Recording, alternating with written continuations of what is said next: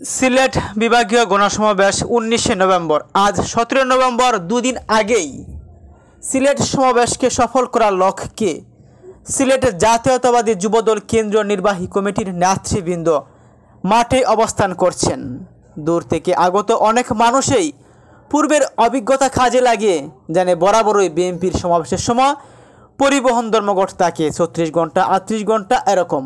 তাই তারা দুদিন পূর্বেই সমাবেশস্থলে জড়ো হতে শুরু করেছে। আজ মজলুম জননেতা মাওলানা আব্দুল হামিদ খান বাসানির ছয়চল্লিশতম মৃত্যু বার্ষিকী উপলক্ষে টাঙ্গাইলে বাসানির সমাধিতে যথাযোগ্য মর্যাদায় শ্রদ্ধাঞ্জলি এবং পুষ্পস্তবক অর্পণ করেছেন বিএনপির নেতা নেত্রীরা। জাপানি রাষ্ট্রদূত চরম সত্য কথা বলেছেন, মন্তব্য করেছেন মির্জা ফখরুল ইসলাম আলমগীর।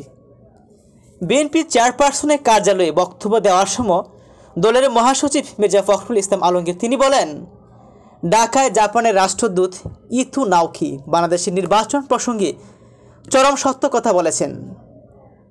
মির্জা ফখরুল ইসলাম বলেন, বাংলাদেশের নির্বাচন নিয়ে রাষ্ট্রদূত ইতু নাওকির সাম্প্রতিক মন্তব্য ও তাকে পররাষ্ট্র মন্ত্রণালয়ের তরফ প্রসঙ্গে প্রতিক্রিয়া জানতে চাইলে বিএনপি মহাসচিব এই কথা বলেন।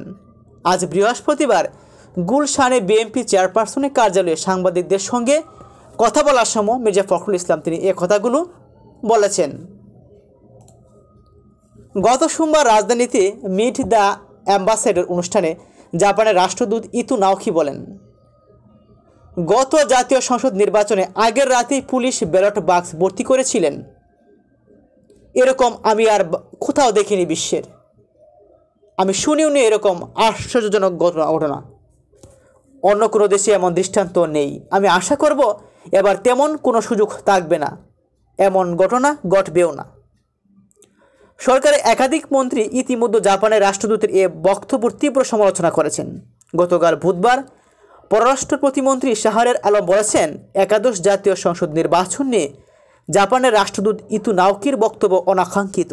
ওই বক্তব্যের জন্য জাপানের রাষ্ট্রদূতের কাছে ব্যাখ্যা চাওয়া হবে। গতকালই আবার নির্বাচন কমিশনার আনিসুর রহমান বলেন, বিদেশি কূটনীতিকেরা দেশের অভ্যন্তরীণ বিষয়ে কী বলতে পারেন তা বিয়েনা কনভেনশন বলা আছে।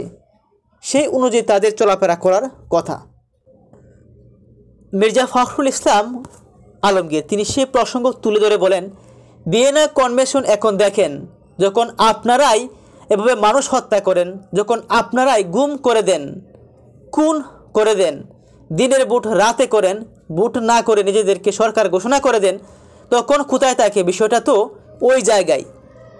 ফখরুল ইসলাম আরও বলেন, আপনি যখন দুর্বল থাকেন, আপনার যখন পায়ের নিচে মাটি থাকে না, তখন আপনি এ ধরনের কথা বলবেন। এটার বাস্তবতা এটাই যে জাপানি রাষ্ট্রদূত যে কথা বলেছেন, চরম সত্য কথা বলেছেন। কিন্তু বাংলাদেশের পররাষ্ট্রমন্ত্রী মানতে রাজি নন। এই প্রসঙ্গে হুঁশিয়ারিও দেওয়া হয়েছে জাপানের রাষ্ট্রদূতকে কোন ধরনের কথা বিদেশি রাষ্ট্রদূত বলবেন বলবেন না সে বিষয়ে কনভেনশনে কিছু নিয়ম নীতিও রয়েছে। বাংলাদেশের পররাষ্ট্রমন্ত্রী এরকম কিছু কথা বলেছেন এবং ব্যাখ্যা চাইলেন জাপানের রাষ্ট্রদূতের কাছে।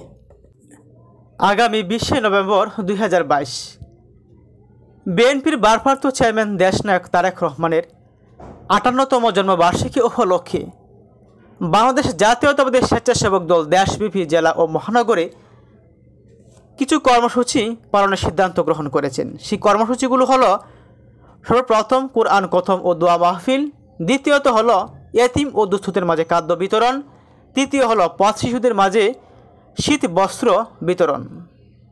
কর্মসূচি সফল করতে সংগঠনের সকল নেতাকর্মীদের প্রতি আহ্বান জানিয়েছেন জাতীয়তাবাদী স্বেচ্ছাসেবক দল কেন্দ্রীয় কমিটির সভাপতি এস এম জিরানি এবং সাধারণ সম্পাদক রাজীব আহসান। ধন্যবাদ ভিডিওটি দেখার জন্য। ভালো থাকবেন, সুস্থ থাকবেন। আল্লাহ হাফেজ। দেখা হবে নতুন কোনো তথ্যে।